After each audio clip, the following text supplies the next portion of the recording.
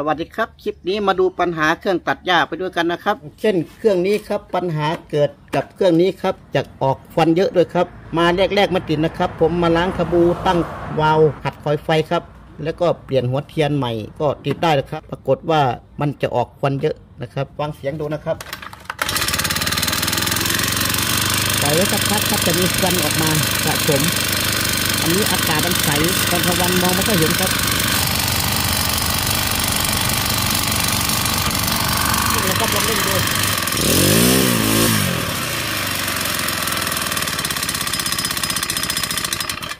พอ เบาก็ดับนะครับเร่งแรงๆพอปล่อยวางเบาก็ดับไปเอง รอบไม่อยู่ครับ อันนี้จะเกี่ยวกับซีนข้างเข้าเวียงจะมีความสึกด้วยครับ เวลาปากซีนมันมันอ่อนนะครับ ตอนแรกมันแข็งเวลามันร้อนมามันอ่อนพอมันอ่อนปุ๊บ ทีนี้ความดูดของตัวไอดี ก็ดูดไม่ได้ดีนะครับ เพราะว่าซีนรั่วข้างล่างนะครับ อากาศดูดเข้าได้ ก็เลยไม่สามารถดูดน้ำมันเข้าไป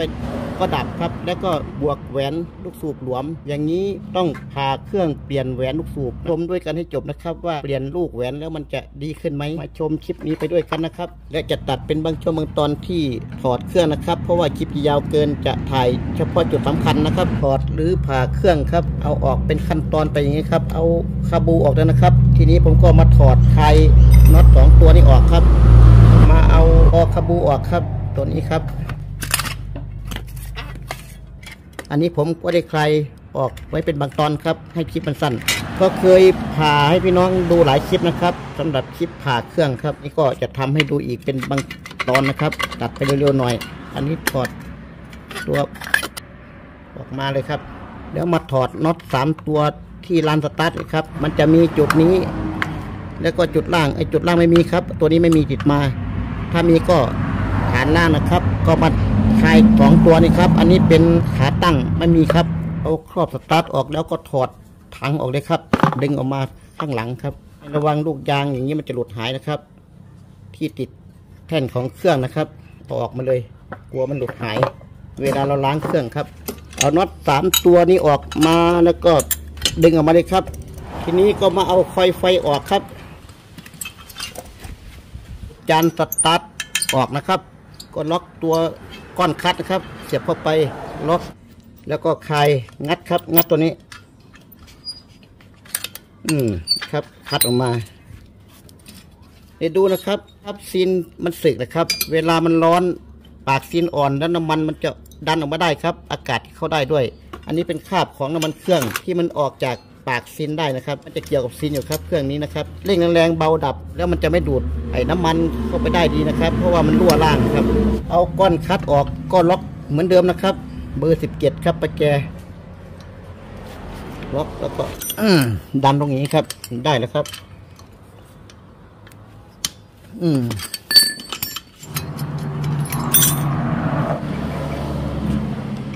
ก็ล็อกเหมือนเดิมนะครับ เอาตัวนี้เข้าล็อก นะครับ เอาน็อตเข้าแล้วตัวนี้ล็อกไปแกเบอร์สิบสองครับ แล้วก็กดลงเลยครับออกแล้วครับถอดออกเลยครับคลายน็อตสองตัวออกไป แล้วก็มากระแทกจานออกครับ ดูด้านนี้นะครับกีบแม่เหล็กนะครับ แล้วก็ด้านนี้ตรงฝั่งกันข้ามนะครับ ไม่มีกีบแม่เหล็กแต่ว่ามันเป็นเหล็กตันหนาๆกระแทกระหว่างสองด้านนะครับ ด้านไหนก็ได้สลับกันนะครับ แต่อย่ามากระแทกตรงที่มันบางๆนะครับ แตกง่ายมากนะครับจานไฟมันเป็นโลบางๆครับ หมุนขึ้นมาให้อยู่ระว่างที่ว่าเราจะเสียบเหล็กเข้ากระแทกนะครับ ก็เคยบอกไปหลายคลิปนะครับ ที่ผ่าให้พี่น้องดูแต่ก็ทำอีกครับ ให้ชินๆกันเลยนะครับ มาถึงจุดนี้ ก็เอาค้อนนะครับ กระแทกอันนี้เหล็กมันตันนะครับแทกออกไปนะครับนะครับ ก็หลุดออกเลยนะครับ จานไฟหลุดออกแล้วมาเอาสายยางตัวนี้ครับ เอาออกครับ จะมีกิ๊บอยู่ครับ ดึงออกมาเลยครับเออออกมาแล้วอย่าดึงเลยนะครับ บางทีมันจะคอขาดได้ยางตัวนี้นะครับ เอาไขควงแบนดันหน้ามันขึ้นด้วยครับ ช่วยช่วยตัวคอยางขาดนะครับ อืมมาเอาน็อตหกตัวนี้ออกนะครับหนึ่งสองสามสี่ห้าหกน็อตของ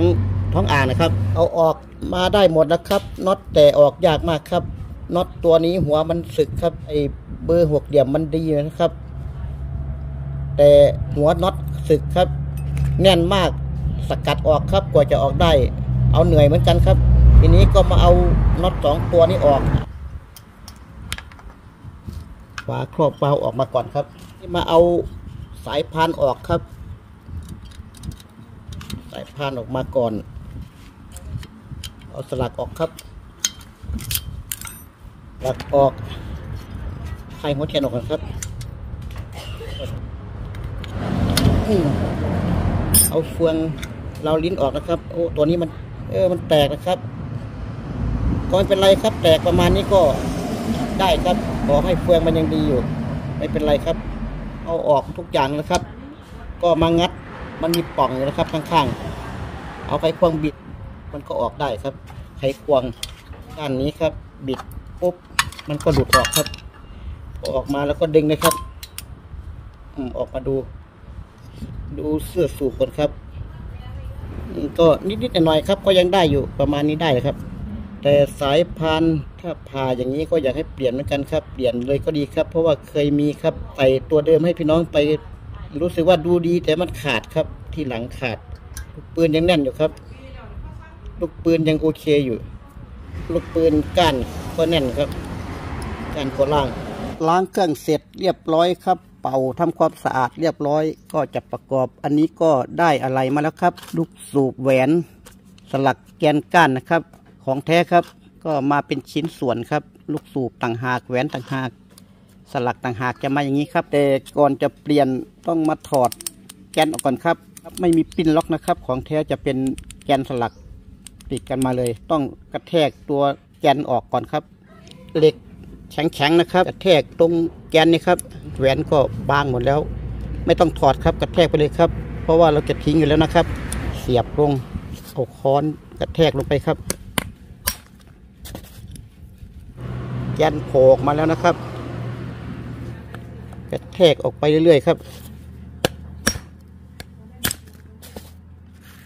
หลุดออกมาเรียบร้อย ทีนี้มาประกอบลูกสูบเข้าครับ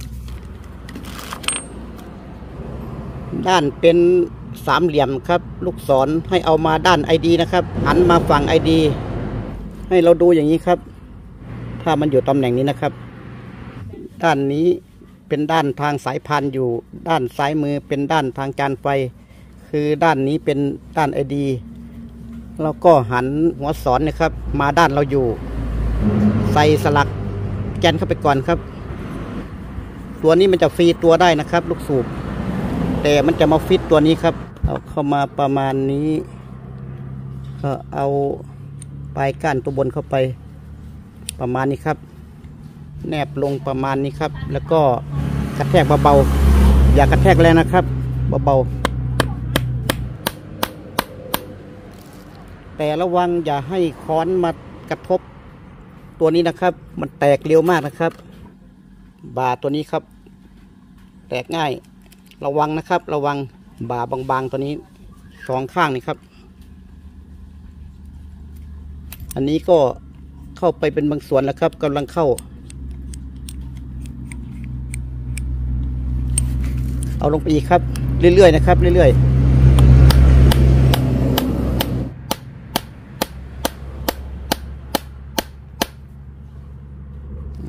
ใกล้จะถึงบาตัวนี้ระวังแล้ว ไม้รองก็ไม่แข็งนะครับ ตัวนี้ไม้อ่อนๆนะครับ นิ่มๆ ถ้าแข็งไปก็แตกได้ครับที่พวกร่องแหวนนะครับ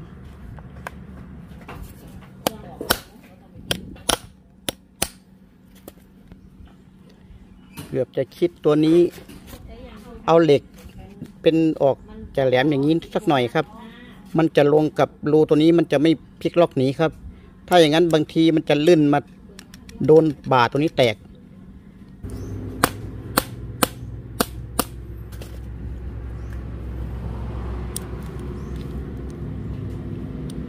อันนี้ลงไปพอดีแล้วครับ มาดูจุดแล้วมาดูข้างแกนสลักสองข้างครับเนี่ยจะอยู่ประมาณ พอดีกันครับ ถ้าซิกมาด้านนี้ก็โผล่นิดหน่อย ซิกมาด้านนี้ก็โผล่นิดหน่อย คืออย่าให้แกนสลักโผล่มาเยอะ ให้มันอยู่ประมาณด้านใน มันจะไม่สามารถมาเบียดเสื้อสูบเราได้ครับ อันนี้โอเคครับ มาประกอบแหวนเข้าก่อนครับแหวนมีห้าตัวครับ จะมีแหวนบางสองตัวครับ แหวนประกบล่างบนนะครับของไอ ประกบตัวแหวนสปริงครับ บนล่างสองเป็นสามกับแหวนสปริง แล้วก็แหวนอัดสองตัวนะครับ ด้านบนเป็นห้าตัวนะครับ ทีนี้มาประกอบเข้า เอาด้านนี้นะครับ ด้านมันเป็นขอโค้งลงล่างนะครับ เอาลงข้างล่างนะครับ แบบนี้ครับ ปลายแหวนนะครับ อันนี้เอาลงข้างล่างอย่างนี้ ด้านนี้จะเอาปากแหวนมาด้านไอเสียครับ ด้านหัวสอนเป็นด้านไอดี ด้านนี้เป็นด้านไอเสีย เอาเข้ามาทางไอเสียครับป่าบ่าแหวนครับ แหวนบางสองตัว เอาบ่าแหวน ตัวนี้มาอยู่เยื่องๆประมาณนี้นะครับ อีกตัวมาอยู่ประมาณนี้นะครับ ให้ระหว่างสับกันบ่าแหวนของแหวนสปริงอยู่จุดกลางครับ ถ้ามาอยู่ประมาณนี้มัน อาจจะไม่มีความอัดดี เพราะว่ามันบาตัวนี้มันก็บางนะครับ ฐานมันไม่กว้างครับ ตัวนี้กระโปรงมันกว้าง เอาแหวนลงไปครับ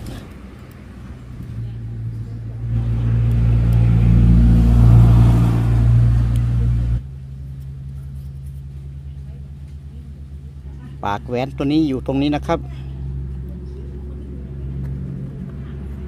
ตัวนี้ก็ให้มาอยู่ประมาณนี้ ครับ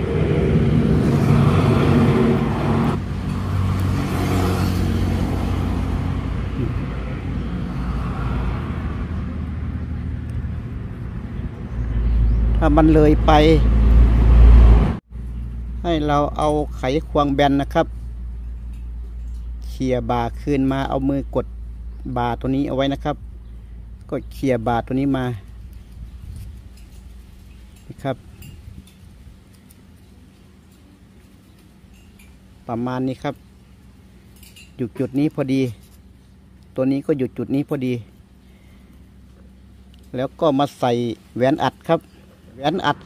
สองตัวตัวนี้เป็นออกจะออกจากสีดำตัวนี้จะเกือบจะขาวหน่อยนะครับ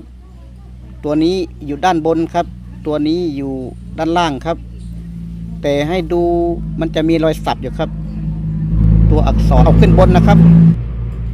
ใส่เข้าไปเลยครับ มันใส่ง่าย ๆ ครับ ของสี่จังหวะใส่ไม่ยาก ไม่เหมือนไม่เหมือนสองจังหวะนะครับสองจังหวะจะใส่ยากหน่อยใส่ตัวนี้ตัวบนสุด ก็ดูตัวอักษร ด้านบนเอาขึ้นบนนะครับ ใส่ด้านบนแหวนสีจังหวะใส่ง่ายมากสองจังหวะเปราะหักเลี้ยวด้วยครับประมาณนี้นะครับ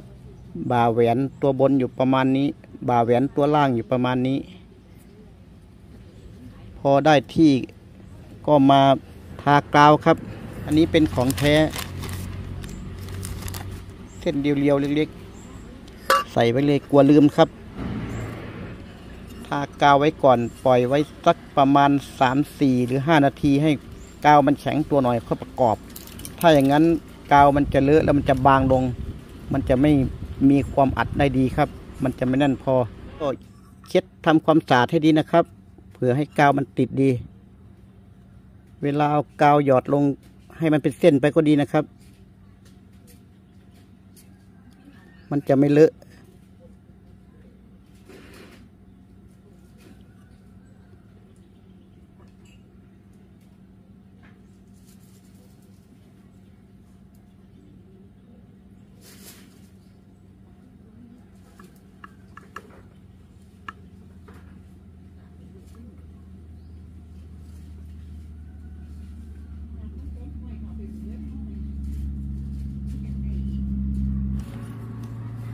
ติด กาวเข้าไปครับ หยอดเป็นเส้นไปตามแนวนะครับ แต่ตรงจุดที่เราจะใส่ซีนนะครับ ห้ามติดกาวนะครับ เพราะว่ามันจะไปเลอะกับซีนนะครับ ปล่อยไว้สักสี่นาทีห้านาทีก่อนนะครับ ทีนี้ก็มาใส่ซีนข้างเขาเวียงเข้าไปครับ ตัวเล็กด้านทางลานสตาร์ทครับ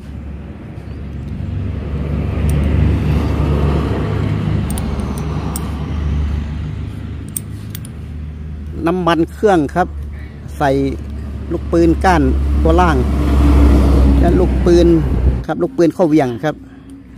ใส่ให้มันลื่นนะครับ ต้องใส่ครับหยอด เข้าไปนะครับ ให้มันมีความลื่นนะครับทาที่เสื้อสูบด้วยนะครับ ให้มันมีความลื่น เวลาเราสตาร์ทเครื่องมันจะไม่เสียหายของเราได้นะครับ หัวลูกสูบด้วยนะครับมาประกอบเข้าเลยนะครับ คือเราจัดแหวนเรียบร้อยนะครับ ดันเข้าไปเลยนะครับ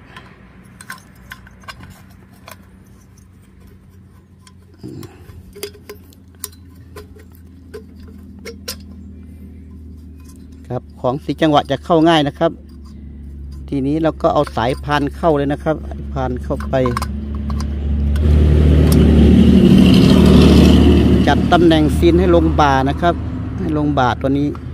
ให้ลงบาตัวนี้สองข้างนะครับ มันจะมีมันจะมีล็อกซีนอยู่นะครับจับลงไปให้มันลงบ่านะครับ ถ้าอย่างนั้นมันจะรั่วครับ ถ้ามันลงบาพอดีแล้วก็กดลงไปครับให้มันได้ที่นะครับก็เอาฝาครอบตัวนี้ประกบเข้านะครับ นะครับ ประกบเข้าไปฝาครอบประกบเข้า พอดีผมลืมเปิดถ่ายตอนเอาเข้า ก็ไม่เป็นไรนะครับ พี่น้องก็เอาเข้าได้ เพราะว่าเราจัดลูกสูบเข้าไปแล้วครับ ก็เอาเข้าเอาเข้าไปก็จับน็อตนะครับ จับน็อตหกตัวหนึ่งสองสามสี่ห้าหกตัวนะครับ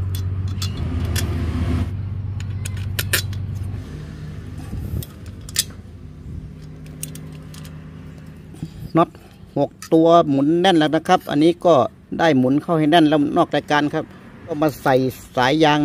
ท่ออากาศท่อน้ำมันตัวนี้นะครับให้ดูสอนนะครับสอนขึ้นนะครับ หัวสอนขึ้น แล้วก็เอาขึ้นบน ตัวบนจะเรียวๆนะครับ กกล่างจะใหญ่ อธิบายยาวหน่อยนะครับ เสียบเข้าไปครับ ต้องใส่ก่อนครับ ส่วนมากจะ ลืมครับ ผมก็ชอบลืมเหมือนกัน ประกอบคอขบูเข้าไป แล้วลืมใส่ตัวนี้ได้ถอดใหม่ครับ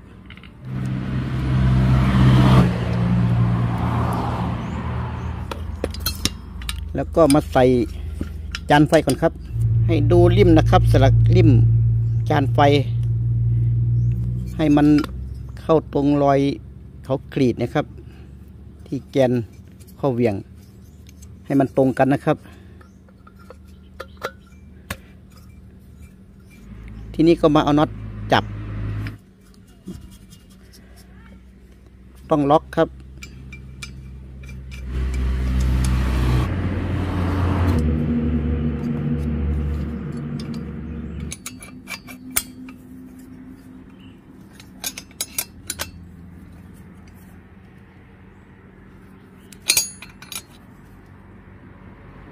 อืม โอเคแล้วครับ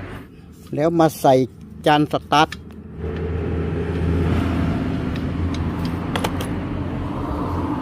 ล็อก ด้านหน้าเหมือนเดิมครับ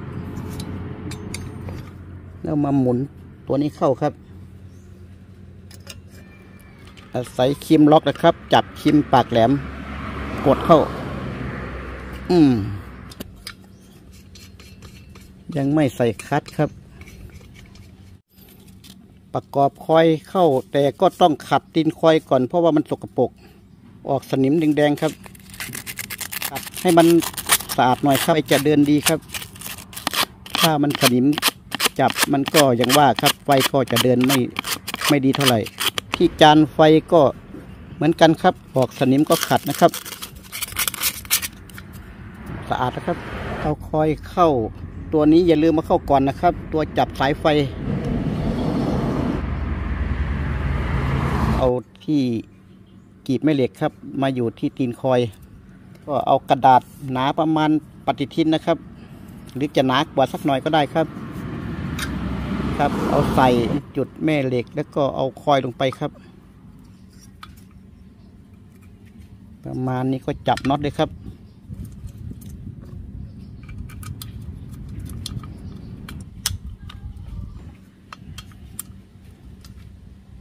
หมุนพอดีประมาณตึกตึกๆมือนะครับ ไม่ต้องแน่นเกิน พอได้ก็หมุนจานไฟดึงกระดาษออกครับ ได้แล้วครับ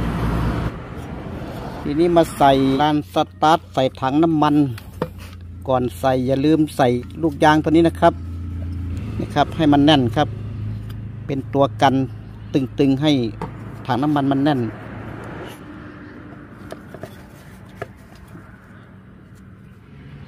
ฝาครอบ ลานสตาร์ทตัวนี้มีลูกยางนะครับอืมอันนี้หลุดออกมาใส่ตรงนี้แล้ว ครับ ก่อนจับน็อตตัวนี้เข้าก็ต้องใส่ขาตั้งก่อนครับ ขาตั้งซื้อมาใส่ใหม่ครับ เสียบน็อตเข้าไปครับ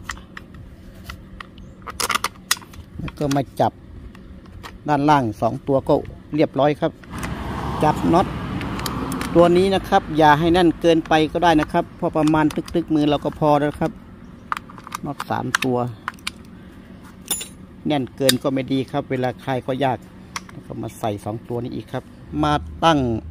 มาร์กตั้งวาล์วครับ ก่อนตั้ง ต้องเอาลูกสูบขึ้นสูงสุด แม่เหล็ก ถ้าแม่เหล็กมาอยู่เยื่องๆกับดินคอยครับ อันนี้คือสูงสุดนะครับ แม่เหล็กจะอยู่ประมาณประมาณนี้ครับ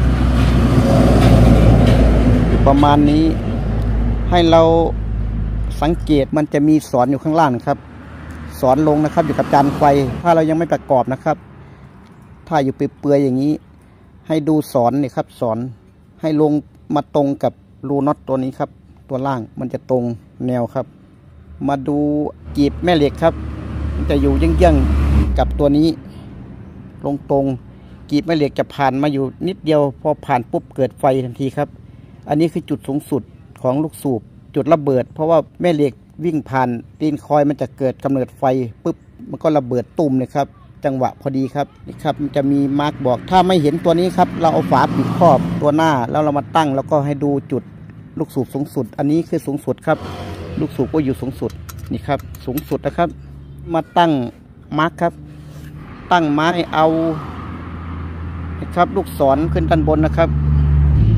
ขึ้นด้านบน ตัวตัวลูกเบี้ยวเอาขึ้น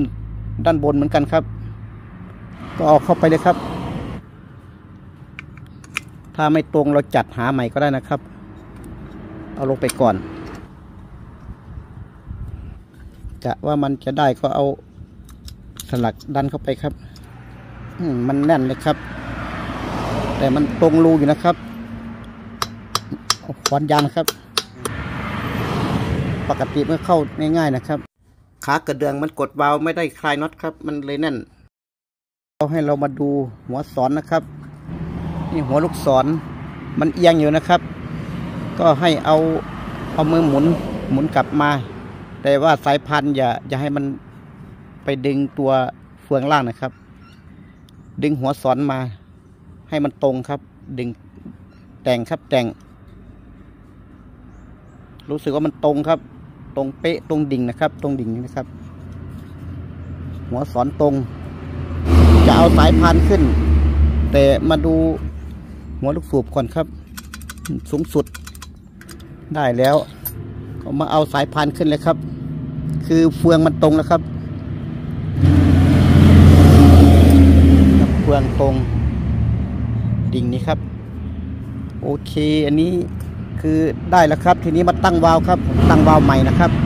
เอออันนี้แน่นเลยนะครับ แน่นเลย ต้องมาคลายใหม่ครับ คลายน็อตออกก่อนครับ เบอร์แปดทั้งสองตัวเลยครับ คลายไว้เลย คลายออกมาแล้วก็คลายน็อตออกมาครับหกเหลี่ยมคลายออกมาครับ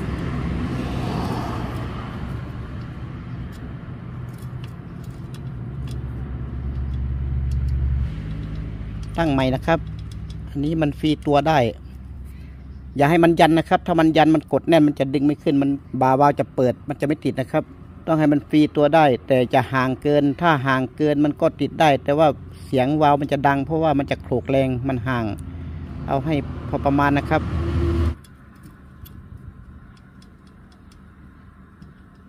ประมาณนี้ครับ พอมันฟรีตัวได้ก็หมุนน็อตเบอร์แปดเข้าไป จับ หกเหลี่ยมเอาไว้นะครับ หมุนเข้าไปโยกดูอีกทีนี่ครับฟรีตัวได้นิดหน่อยก็เอาเลยนะครับเบอร์แปดเข้าไปหกเหลี่ยมจับยึดยึดเอาไว้นะครับ ยึดหกเหลี่ยมเอาไว้ ให้มันตรงๆแล้วก็หมุนเบอร์แปดเข้า อืมได้แล้วครับตัวนี้แล้วก็หมุนน็อตเข้าไปอย่าหมุนแน่นเกินนะครับ เพราะว่ามันจะแตกครับ ถ้าหมุนแน่นเกินตัวคอเหล็กตัวนี้จะแตกนะครับ คอตัวกดวาล์วครับ แตกง่ายครับ พอประมาณ ตั้งทางไอเสียครับ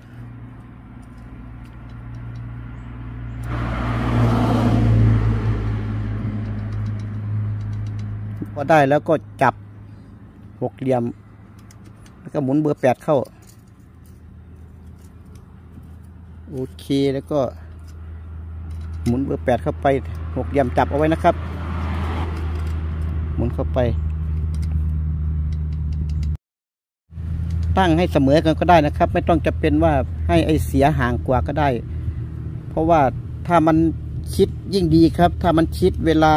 ขากามปูกด กดเข้าไปข้างหลังนะครับ เวลามันกดปุ๊บ มันจะกดลงได้เยอะครับ บ่าวาล์วมันจะมันจะเปิดตึกได้เยอะครับ ถ้าเราตั้งคิด มันจะระบายออกเยอะ แต่ผมตั้งเกือบจะเท่ากันทุกตัวนะครับ ให้มันเปิดได้เยอะหน่อย จะระบายออกได้เยอะเวลามันระเบิดออกไป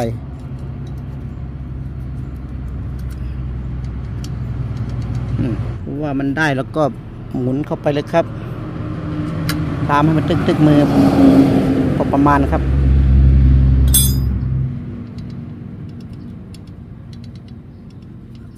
โอเคครับ ใส่ฝาครอบวาล์วเข้าไปครับ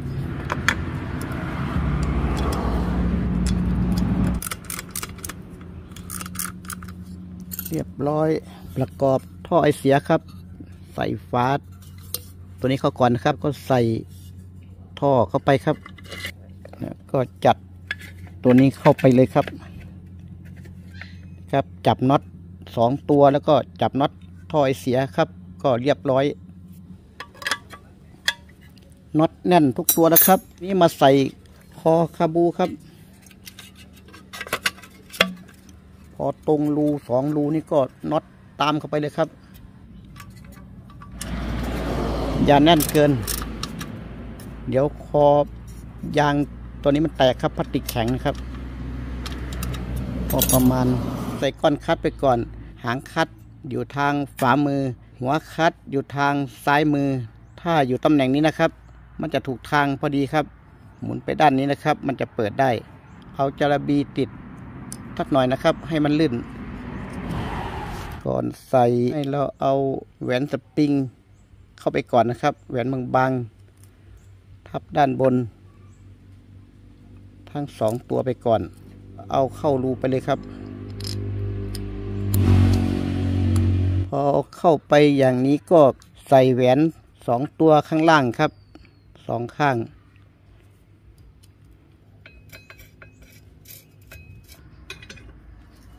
ที่แรกมันจะแน่นหน่อย พอเราหมุนเข้าไปมันก็จะหลุดเข้าไปตัวบานี่ครับ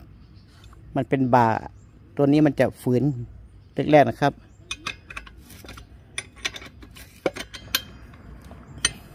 พอมันเข้าไปแล้วครับ ตึกตึกๆมือเราก็ใส่ ตัวนี้ล็อกเข้าไป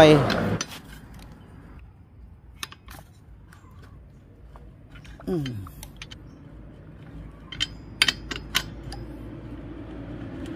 โอเคครับ ประมาณนี้ก็ได้แล้วนะครับ เสร็จจากตัวนี้ก็มาใส่ครอบหน้าไว้เลยครับ จะได้ติดคอยชามเข้าไปลองดูครับ โอเคแล้วครับ ติดคาบู ประกอบคาบูจะตัดไปก่อนครับ พี่น้องก็จะทำกันได้นะครับสำหรับใส่คาบูประกอบด้านนอกนะครับ เพราะว่าคลิปจะยาวเกิน ตัวที่สำคัญก็พาพี่น้องทำ มานะครับด้านนอกคงไม่มีปัญหาตัดไปก่อน เอาตอนใส่คอชามตอนจะลองเครื่องเลยนะครับ ต้องใส่คอชามก่อนนะครับ เพราะว่าเวลาเครื่องติดเราเร่งก้อนคลัตช์จะแตกได้นะครับ ต้องใส่คอชามกัน ถ้าไม่ใส่ก้อนคลัตช์ไม่เป็นไรครับ นี่เราใส่ไปแล้วเราต้องระวัง ตอนตัดไปใส่น้ำมันเครื่องใส่เบนซินไว้นะครับ ใส่คอชามคลัตช์ ก่อนจะสตาร์ทให้เราปรับเข็มเร่งก่อนนะครับ เข็มเร่งอยู่ด้านบนนะครับ ให้ปรับเข้าไปช่วยนะครับ ช่วยให้มันติดได้ ถ้าเราไม่ปรับเข้ามันจะไม่ติดนะครับ ถ้าเบาไปต้องปรับให้มันเร่งครับ ถ้ามันติดได้มันเร่ง แล้วก็มาเบาลงนะครับ ให้มันติดได้ก่อน ถ้าไม่ปรับมันจะไม่ติดนะครับคาบูตอนเครื่องติดก็เหมือนกัน เราคลายออกมาเยอะๆมันจะดับไปเลยครับ เบาเยอะ ทีนี้มากดน้ำมันขึ้นลองสตาร์ทดูครับ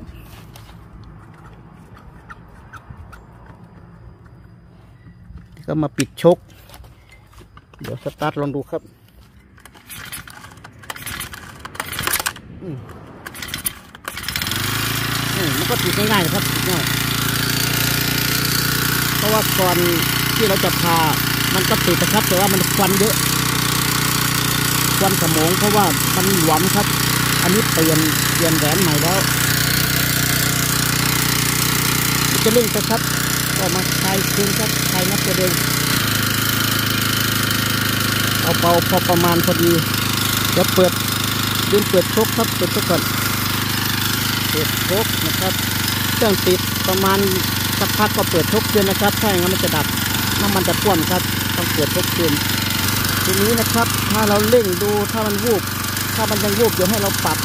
ตัวเข็มน้ำมันตัวบนนะครับคือเข็มลูกเร่งนะครับให้คลายเกลือนิดนะครับคลายออก เอาไขควงนิดนะครับเข้าไปแล้วก็คลาย ลายออกนะครับ แล้วมันจะเร่งขึ้นได้ ถ้ามันเร่งไม่ขึ้นถ้ามันวูบนะครับค่อยทำคลายหานะครับ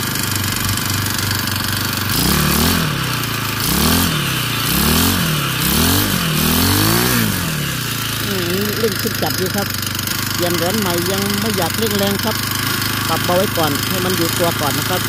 อันนี้โอเคครับควันไม่มีไม่มีควันนะครับ เครื่องก็นิ่งนะครับดับสวิต สวิตครับสำหรับเครื่องที่มีควันเยอะๆ แล้วก็ไม่นิ่งครับ เบาก็ชอบจะดับ บางทีใส่กรองเข้าไปอย่างนี้ก็ดับครับ เพราะว่าความอัดไม่ดีนะครับ ความอัดไม่ดีมันก็ดึงอากาศเข้าไม่ได้ครับ เสื้อสูบยังดีครับ ถ้าเสื้อสูบไม่ดีต้องเปลี่ยนหมดชุด อันนี้เสื้อสูบยังไม่มีรอยยังเนียนอยู่ครับถือว่าโอเคนะครับสำหรับคลิปนี้ก็ขอขอบคุณทุกคนนะครับที่ติดตามชมครับ สวัสดีครับ